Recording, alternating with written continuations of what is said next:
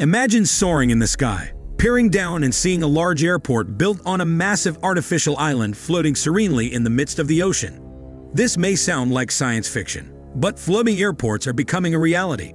With rising demand for air travel and a scarcity of land in coastal cities, engineers and architects are turning to this cutting-edge approach to build airports that can meet the needs of the 21st century. Welcome to Top Futuristic. Before we continue, please take a moment to like the video and subscribe to the channel to stay up to date with our latest videos. Japan is a wonder of engineering, with skyscrapers constructed to survive strong earthquakes and trains that are almost always on time. The Tokyo Skytree, Akashi Kaikyo Bridge, and Tokaido Shinkansen were all completed without a hitch. But not every engineering project in the land of the rising sun always goes as planned. The $20 billion Kansai International Airport could be one of Japan's largest engineering catastrophes. The Kansai Airport in Japan, which opened in 1994 and is located in Osaka Bay, is a one-of-a-kind and cutting-edge engineering marvel. However, due to its location on a landfill island, it has been sinking 2 to 4 centimeters per year. The airport's sinking has been blamed on a variety of issues, including the effect of climate change. Changing climate patterns have resulted in rising sea levels and an increased frequency of extreme weather events, such as typhoons, which can cause substantial damage to coastal infrastructure. The floating airport is sinking into Osaka Bay, despite $12 billion in efforts to save it. Here's a look at why the airport is sinking and what's being done to fix it. The interesting thing about Kansai International Airport is that it is designed to sink. It's simply sinking much faster than engineers predicted. One question remains. Will the airport be built high enough above sea level to avoid major flooding? Only time will tell and thus far, only stopgap solutions are being employed to keep Kansai International Airport floating in Osaka Bay. Before we get into these steps, let's take a look at how Kansai International Airport was developed. Construction on the Kansai International Airport began in 1987. The project was originally estimated to cost $8 billion. However, the overall cost of building the airport has subsequently risen to $20 billion due to costly maintenance.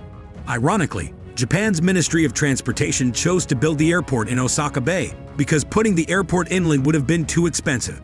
The ministry was unwilling to pay for the additional cost of relocating and compensating residents who would have to relocate to make way for a new airport. Moving manufacturing and enterprises would have cost a lot of money. Then there were the environmental concerns as well.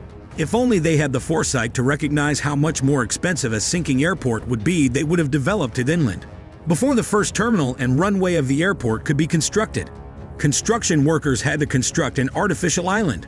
Land reclamation gained popularity in Japan after World War II, so it's not like creating land on top of water was a novel concept. The first construction crews placed sand on top of the clay seabed. The second step was to install 2.2 million vertical pipes, each with a diameter of 16 inches. After the pipes were driven into the seafloor, they were filled with moisture-absorbing sand. This was a critical step because reclaimed land is effectively a wet sponge. If the pipe didn't absorb water from the surrounding soil and seed, construction would be impossible. To support the weight of an airport terminal, a dense and dry foundation is necessary with the pipes removed and the sand drain method implemented. Crews could begin adding rock and soil to the sand layer, the rock and soil were hauled in from nearby mountain ranges. In total, 180 million cubic meters of rock and soil were added to the sand layer to protect the foundation. A seawall of 48,000 specially designed concrete tetrapods was built around the island. The seawall's perimeter was constructed with 69 massive steel chambers, and the tetrapods were subsequently installed in between these chambers. The sea wall was built to defend the airport from waves and surges by dispersing the oncoming water. Without the seawall, the airport would be flooded by water from Osaka Bay. More soil was poured until the island reached 65 feet above sea level. Unfortunately, engineers should have built the island higher since they grossly miscalculated how much the 511-acre island would sink. After the island had been stabilized, construction workers began work on the terminal and runway. A three-kilometer bridge connecting the island to the economic development of Rinku Town was erected in 1990. The bridge connecting the airport to Osaka was not cheap. The construction cost around $1 billion. The first terminal opened in 1994, but financial issues rapidly surfaced. After the first terminal and runway were finished, the airport was heavily in debt. Annual interest payments peaked at $560 million in the first few years of operation. Kansai International Airport's main terminal building was created by renowned Italian architect Renzo Piano. He was picked to work on the project because of his distinct vision, but his plans almost didn't come to completion. To save money, government officials sought to shorten the terminal, but Piano insisted on it being completed to the original specs. The 1.7 kilometer terminal is the world's longest, but it may look very different today if Piano had adjusted his designs at the last minute. Despite the fact that the first island sank much faster than expected, engineers believed they had the issue under control. In 2003, work on a second terminal in the runway began. The second island was built in the same manner as the first, but engineers altered their specifications because they knew it would sink just as much as the first. Government officials saw the development as important because tourism in Japan was growing at an exponential rate. Tokyo's Narita and Haneda airports were also very packed. In addition, the Ministry of Transportation wished to establish Kansai International Airport as a gateway to Asia. They didn't want to lose customers to Hong Kong and South Korean airports. So what's the deal with the airport sinking in the first place? The sinking was unavoidable, but engineers grossly miscalculated how quickly and deeply the airport's island would sink. Kansai International Airport has already sunk 38 feet since it opened, while engineers anticipated the first island would sink 19 to 25 feet when construction began. They used the low end of their estimates and paid the price.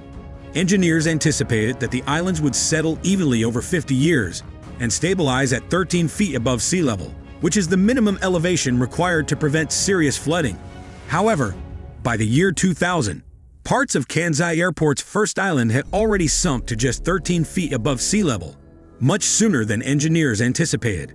Engineers have recently revised their calculations, predicting that the airports will sink 13 feet more and reach sea level by 2056. To prevent this from happening, more than $150 million has been invested to strengthen and raise the seawall surrounding the airport. Raising the seawall is not the only method experts have devised to prevent Kansai International Airport from sinking. Unfortunately, all of the other options are just temporary.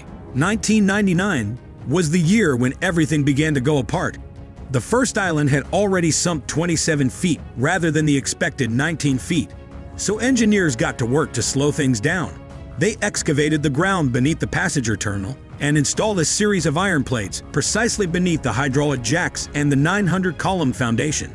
The foundation columns were then gradually raised. This significantly slowed the sinking, but it came at an enormous cost. The cost of constructing Kansai International Airport could already exceed $15 billion, making it the most expensive civic project in history. Kansai International Airport is not likely to sink into Osaka Bay anytime soon, but the sinking is far from over. The hydraulic jacks beneath the airport must be adjusted every two years, and meters are now put on the columns to determine how much the airport is tilting. Electrical equipment kept underground at Terminal 1 will be relocated above ground to protect it away from water, lowering the risk of flooding. Kansai International Airport plan to invest approximately $911 million through 2025 to improve the main terminal in order to increase capacity at one of Japan's busiest airports.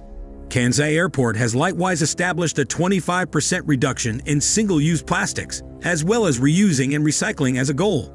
60% of plastic packaging by 2022, demonstrating the company's commitment to sustainability.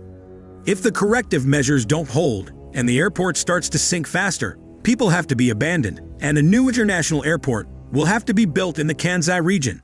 Climate change might be an even bigger threat to the airport, in 2018, the airport was hit by Typhoon Jebi. The typhoon was so severe that the airport had to pause operations after seawater surges inundated the island and runways were flooded and water reached up to the engines of some of the planes.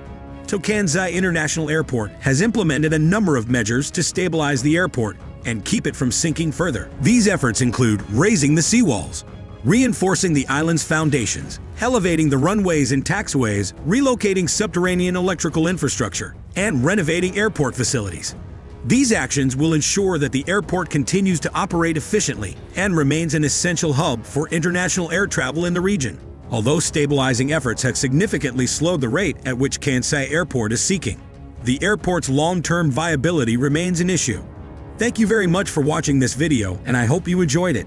Be sure to like, comment, and subscribe if you're new, and I'll see you all next time.